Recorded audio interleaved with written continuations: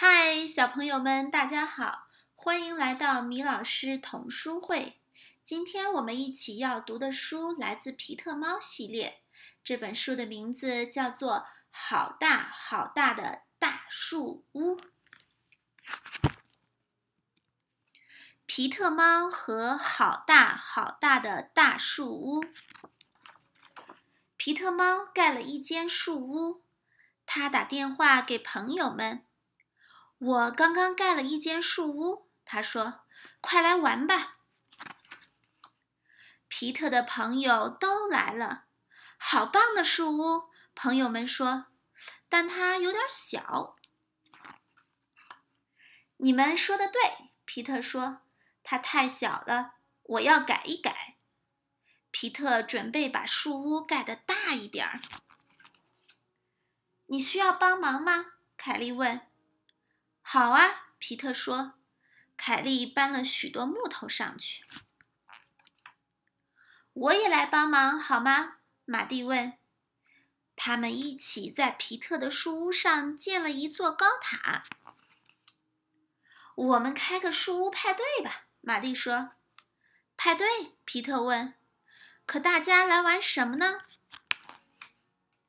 我可以帮你做个设计图，艾玛说。树屋设计图，太棒了！皮特说：“就这么办。”皮特、马蒂、凯莉、艾玛和坏脾气的蛤蟆都准备好干活了。他们建了一间游戏室，里面有很多好玩的游戏机。他们建了一间保龄球馆，里面有二十条球道。他们建了一个波浪池，皮特可以在室内冲浪。他们还建了一座电影院，一个滑板公园，一面攀岩墙和一座溜冰场。皮特所有的朋友都来到了树屋派对。他带一位朋友去打保龄球，他带一位朋友去看电影。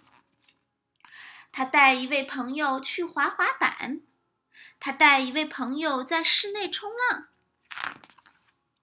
大家都来了吗？皮特问。是的，但我们都在一个人玩。朋友们说：“我们来这儿是为了和大家一起玩。”对，皮特说：“我们一起去下面的游乐场玩吧。”大家都爬了下来。这个树屋太棒了。朋友们说：“我很高兴树屋让我们聚到了一起，谢谢你们。”皮特说。完，小朋友，这本书读完了，大家喜欢吗？我们下期再见。